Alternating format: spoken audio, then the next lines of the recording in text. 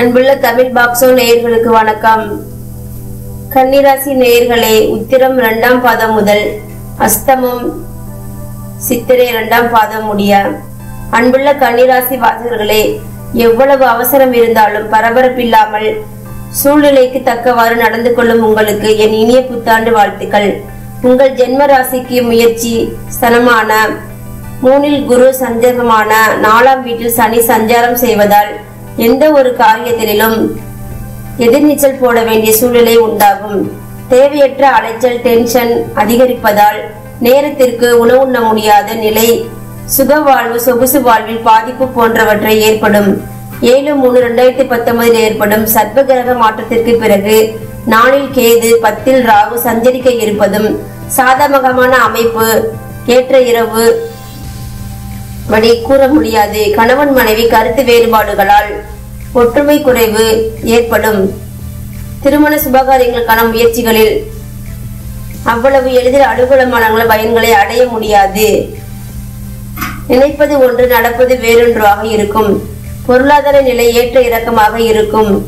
எதிர்பார்ப்புகளும் உறவினர்களும் தாமதப்படு தாமதப்படுத்தப்படும்.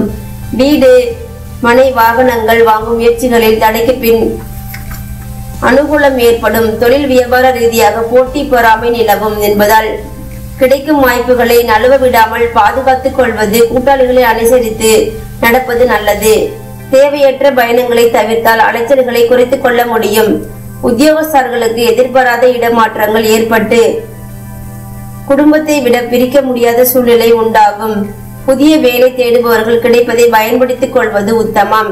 உடல் ஆரோக்கியம் உடல்நிலை சுமாராகத்தான் இருக்கும்.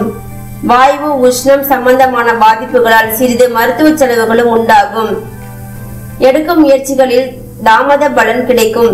நெருங்கியவர்களுக்கு உடல்நிலை பாதிப்புகளால் மன அமைதி குறையும். அலைச்சல் அதிகரிக்கும் என்றாலும் எதையும் சமாளிக்கக்கூடிய பலமும் வலிமையும் கூடும். குடும்பத்தை பொறுத்தவரை குடும்ப ஒற்றுமை ஒற்றுமை சுமாராக இருக்கும். கணவன் மனைவியிடையே சிறு சிறு வாக்குவாதங்கள் உண்டாகும். புத்திர வழியில் செலவுகள் இருந்தாலும் அதனால் அனுகூலமாகவும் உண்டாகும். உற்றார் உணவிர்கள் ஒரு நேரம் ஆதரவாக இருந்தாலும் ஒரு சில நேரங்களில் தேவையற்ற பிரச்சனைகளை ஏற்படுத்துவார்கள். பொருளாதார நிலை சுமாராகவே அமையும்.